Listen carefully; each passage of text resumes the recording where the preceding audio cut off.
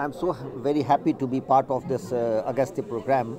Agastya is doing great work, I can see, and I'm sure this will lead to many innovations in the country. People and children, especially from the remote areas, the less privileged children, I can see the participation is from government school children. Obviously, the less privileged are at the moment going to the government school and these children are benefiting. They are bubbling with ideas and if given uh, support like what Agastya is doing, they'll do wonders in life. But all this cannot be done without finances, without financial support. Thomson Reuters has supported this activity and they need uh, uh, appreciation for this.